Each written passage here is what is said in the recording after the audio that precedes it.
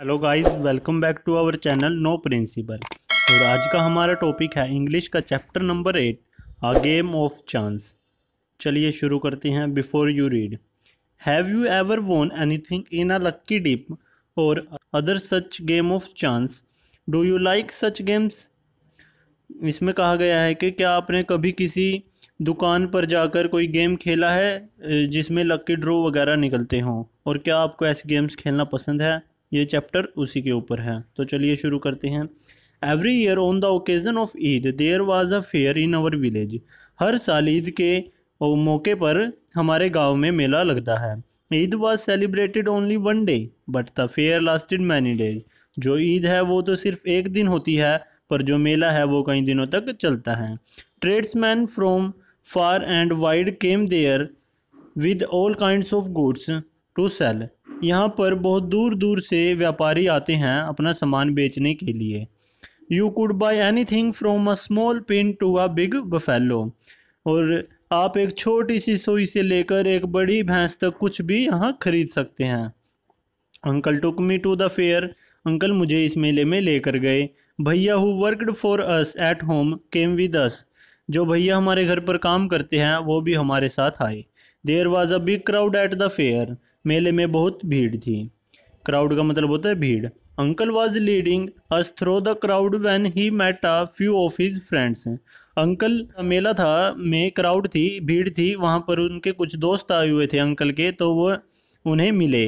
They wanted him to spend some time with them वे चाहते थे कि अंकल उनके साथ कुछ समय बिताए। Uncle asked me whether I would like to look around the fair with भैया till he come back uncle ने मुझसे कहा, क्या मैं अपने दोस्तों के साथ घूमाऊँ? तब तक क्या तुम भैया के साथ मेला देखोगे? I was happy to do that मैंने कहा हाँ हाँ अंकल जी, क्यों नहीं? ज़रूर. Uncle want me neither to buy anything nor to go too far out while he was away uncle ने मुझसे कहा कि तुम कुछ भी नहीं खरीदोगे जब तक मैं नहीं आता और ना ही कहीं ज़्यादा दूर जाओगे। I promise that I would wait for him मैंने उन्हें प्रोमिस किया कि मैं उनका इंतज़ार करूँगा। भैया and I went from shop to shop भैया और मैं एक दुकान से दूसरी दुकान पर गए। There were many things I would have liked to buy वहाँ पर बहुत सारी ऐसी चीज़ें थी जिन्हें मैं खरीदना चाहता था। But I waited for uncle to return पर मैं अंकल जी के वापस आने का इंतज़ार कर रहा था। Then we came to what was could called the lucky shop तब हम एक ऐसी दुकान पर पहुँचे जिसे किस्मत की दुकान कहते हैं। Lucky shop the shopkeeper was neither young nor old और जो वहाँ पर वो दुकानदार था, वो ना तो ज़्यादा बूढ़ा था और ना ही जवान था। He was a middle age man वह एक मिडल एज का आदमी था like forty to fifty years के बीच का। He seemed neither too smart nor too lazy वह ना तो ज़्यादा स्मार्ट लग रहा था और ना ही ज़्यादा आलसी था। He wanted everybody to try their luck वह चाहता था कि हर कोई अपना लक अपनी किस्मत ट्राई करे। There were disc on the table with numbers from one to ten facing down वहाँ पर एक से छः नंबर एक से दस तक के नंबर रखे हुए थे टेबल के ऊपर, लेकिन उल्टे। और उनमें से कोई भी हमें जो छः डाइस थे वो उठाने थे। All you had to do was to pay fifty paisa. Pick up any six dices and up the numbers on the disc and find the total हमें क्या करना था? पचास रुपये पे करने थे एक बार खेलने के लिए और उनमें से कोई भी छः डाइस उठाने थे और जो भी उन पर नंबर आते, उन्हें टोटल करना था। The article marked with that number was yours और जो भी उन नंबर्स को जोड़कर जो भी नंबर बनेगा, वो नंबर जिस भी चीज़ के ऊपर लिखा होगा, वो तुम्हारी हो जाएगी। An old man paid fifty paisa and selected six dices और तभी वहाँ पर एक बूढ़ा आदमी आया और उसने पचास पैसे दिए और उसने छः डाइसिस चुने। He added up the numbers on them and found the total was fifteen उन्होंने सारे नंबर्स को जोड़ा और पंद्रह नंबर आ गया।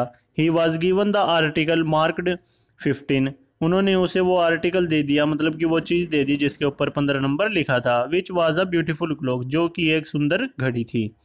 But the old man did not want a clock पर जो वो बूढ़ा आदमी था, वो घड़ी लेना नहीं चाहता था। The shopkeeper obliged him by buying it back for fifteen rupees तब उस शॉपकीपर ने कहा तो चलिए ठीक है, मैं इसके बदले आपको पंद्रह रुपये दे देता हूँ। The old man went away very pleased और जो वो बूढ़ा आदमी था, वहाँ से वो लेकर चला गया। Then a boy a little older than I tried his luck और तब वहाँ पर दोबारा से एक बच्चा आया। जो जिसने अपने किस्मत को ट्राई किया। ही गोट अ कोम्ब वो ट्वेंटी फाइव पैसा। उसने वहाँ से एक कंघी कोम्ब का मतलब होता है कंघी जीती, जिसकी वैल्यू पच्चीस पैसे थी द। शॉपकीपर लुकड ना इधर हैप्पी नोर सैड और जो शॉपकीपर था, वो ना तो ज़्यादा दुखी हुआ इस बात से और ना ही ज़्यादा खुश था। He bought the comb from the boy for twenty five paisa. उसने उस लड़के से वो कोम्ब पच्चीस पैसे में ख़रीद ली। The boy tried his luck again उस लड़के ने दोबारा से अपना लक ट्राई किया।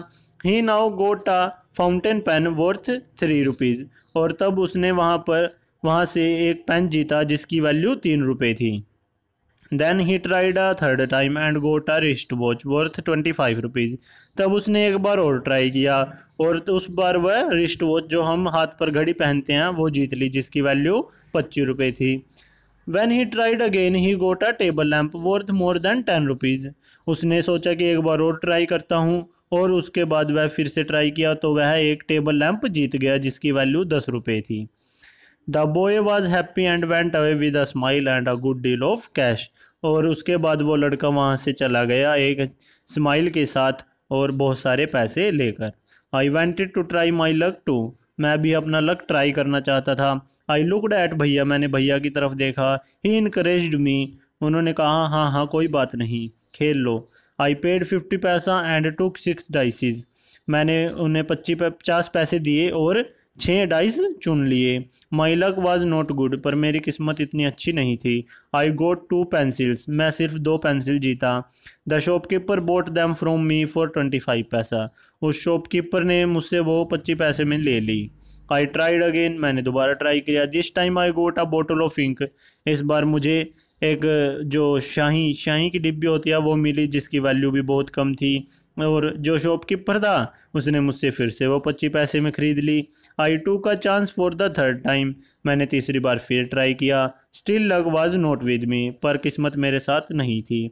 I had hopes of winning a big prize and continue to try my luck again and again paying fifty paisa each time पर मैं चाहता था कि मैं कुछ बड़ा जीतूँ, और इसकी वजह से मैंने दोबारा दोबारा दोबारा मैं उसे पैसे देता गया और अपना लक ट्राई करता गया।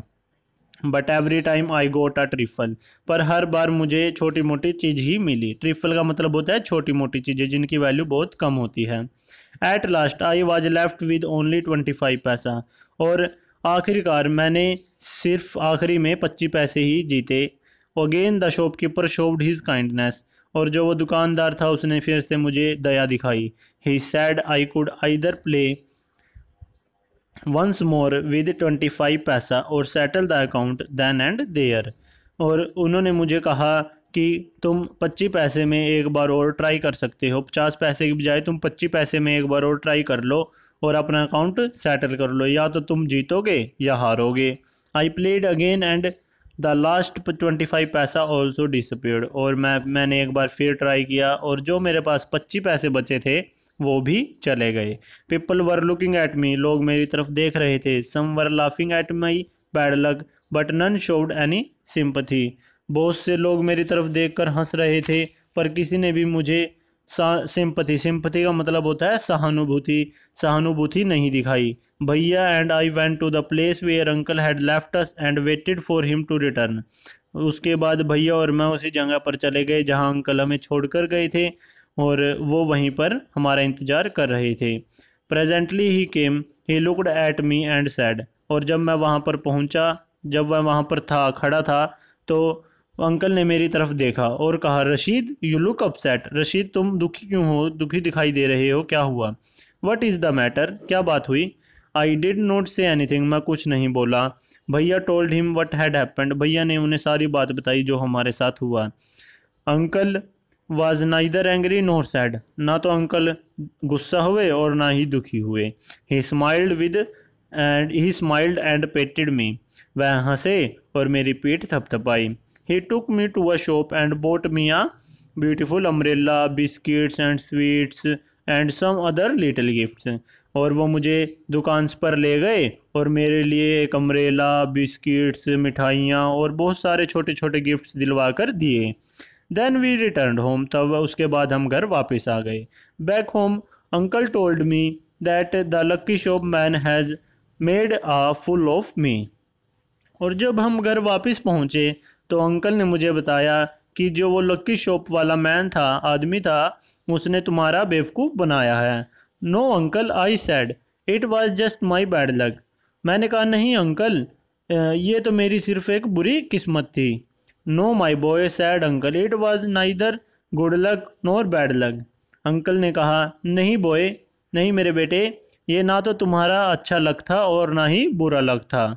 But uncle I said I saw an old man getting a clock and a boy getting two or three costly things लेकिन अंकल, मैंने खुद देखा है अपनी आँखों से कि एक बूढ़ा आदमी था जो बहुत ही महँगी क्लोक जीत कर गया और एक लड़का था जो बहुत सी चीज़ें वहाँ से जीत कर गया। You don't know child uncle said तब अंकल ने कहा कि बेटा, तुम नहीं जानते। They were all friends of the shopkeeper वो सभी उसी शॉपकीपर के दोस्त थे। They were playing tricks to tempt you to try your luck वे सिर्फ़ तुम्हें उकसा रहे थे। टेम्प का मतलब होता है उकसाना किसी को। वो सिर्फ़ तुम्हें उत्साहित कर रहे थे कि तुम अपना लक ट्राई करो। They wanted your money and they got it वह चाहते कि थे कि तुम अपनी सारी मनी उन्हें दे दो और उन्होंने ले भी ली। Now forget about it and don't tell anybody of your bad luck और योर फुलिशनेस और तब अंकल जी ने कहा कि अब अपने बुरी किस्मत के बारे में किसी को मत बताना और ना ही यह बताना कि तुम्हें बेवकूफ़ बनाया गया है, वरना सब तुम पर हंसेंगे। सो गाइज़ आई होप आपको ये चैप्टर अच्छा लगा होगा। अगर आपको कोई प्रॉब्लम है तो आप कमेंट सेक्शन में पूछ सकते हैं। और हम इसके क्वेश्चन आंसर करेंगे। नेक्स्ट वीडियो में बुक वर्क भी करेंगे। तो thank you so much like subscribe and share my channel